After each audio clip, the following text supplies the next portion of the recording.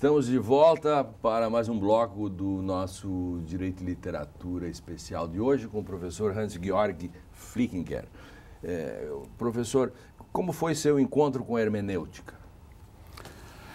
É uma curiosa uh, história, um, porque um, inicialmente, uh, ao participar na filosofia dos cursos uh, que Gadamer deu, eu não entendi muita coisa. Uhum. Eu saí do direito uh, com aquela orientação meio positivista e de repente se abriu um, um espaço sobre os pré-socráticos, uh, sobre Sócrates. o Crátilo, aquela discussão. É, tudo isso que Gadamer apresentou, quase tirando isso do bolso.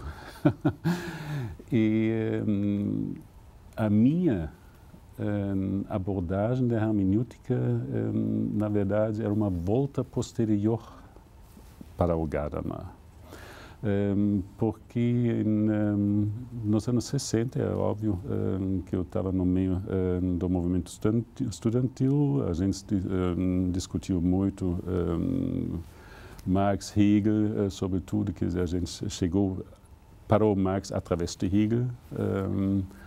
E eu escrevi também eh, para, em, em, português aqui no Brasil, foram publicados pela LPM eh, dois livros, eh, Marx e Hegel, não Hegel e Marx, mas Marx e Hegel, e um livrinho sobre Marx, para mostrar algo que depois eu descobri descrito perfeitamente pelo Gadamer, quando ele fala hermenêutica é saber quanto um, não foi dito quando se diz algo.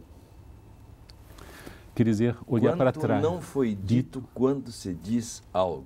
Quer dizer, olhar para trás, olhar para trás. Uh, de uma teoria, um, e isso um, foi encaminhado, isso foi encaminhado através de um longo, um longo debate com Michael Teunissen, sobre a ciência da lógica uh, de Hegel naquela época, uh, porque o um, uh, falou de, uma, um, de um potencial crítico da ciência da lógica hegeliana e negou a filosofia do direito de assumir também uma tal possibilidade de interpretação crítica.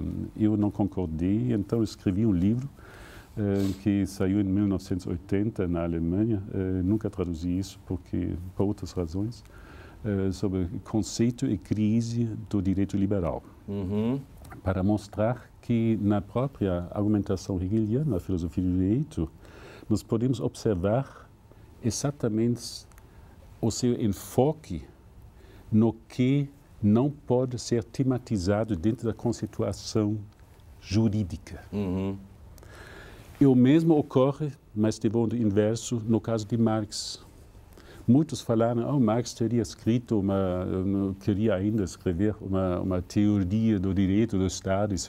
Uhum. Não poderia ter feito isso certo. porque a, a conceituação econômica não dá um, apoio para uma reconstrução um, de questões jurídico-constitucionais. Perfeito. Então, um, eu descobri uma certa complementaridade entre Marx e Hegel.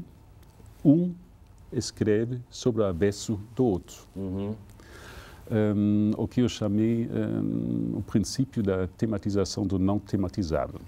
E isso e é exatamente... chegou nisso através da hermenêutica. Não, através disso eu cheguei de volta ah. à hermenêutica. Ah, sim.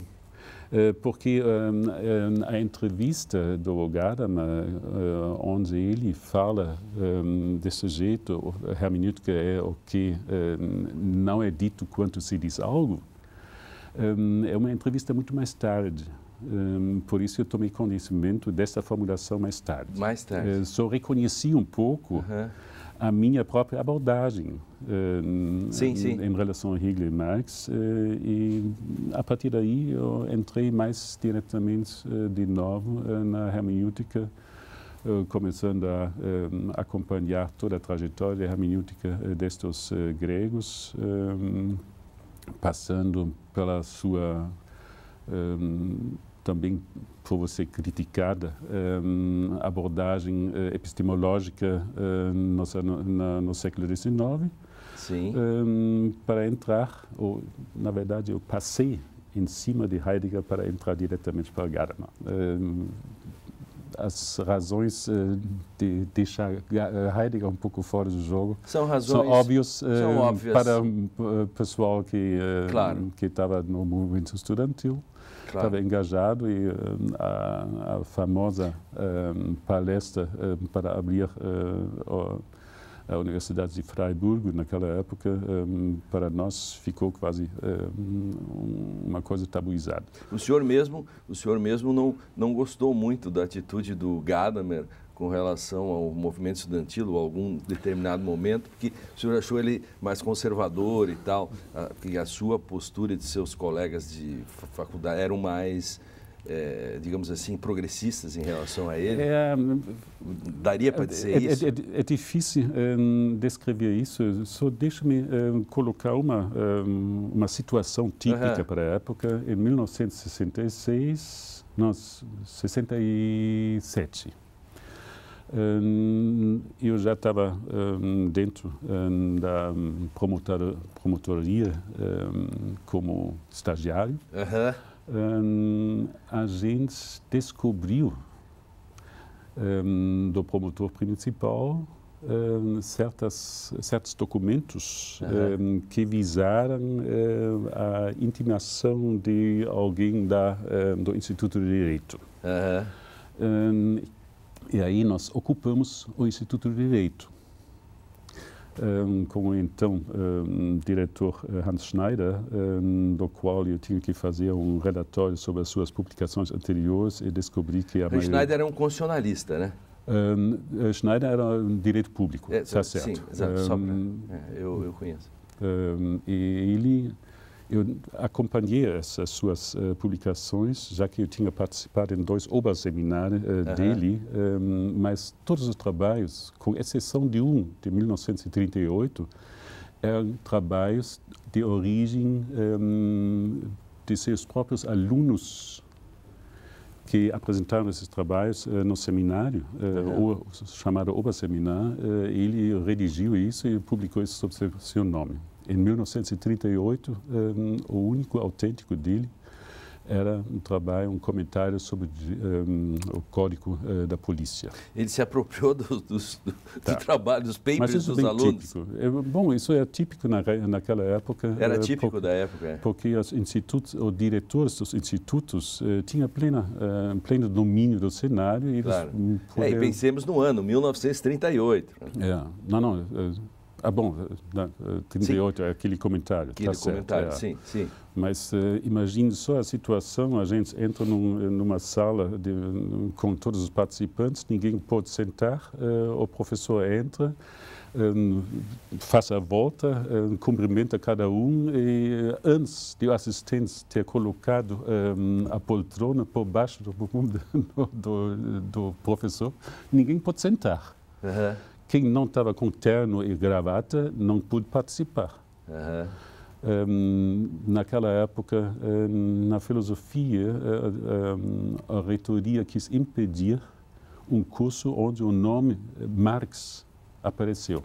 O Michael Teunissen uh, deu um curso sábado de manhã, durante dois anos, sobre Marx mas um era... curso alternativo porque é. a reitoria não permitia. É.